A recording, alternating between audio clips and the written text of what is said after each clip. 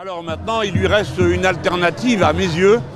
Ou bien il retire son projet, ou bien il, pense que c'est tellement vital, tellement important pour le pays.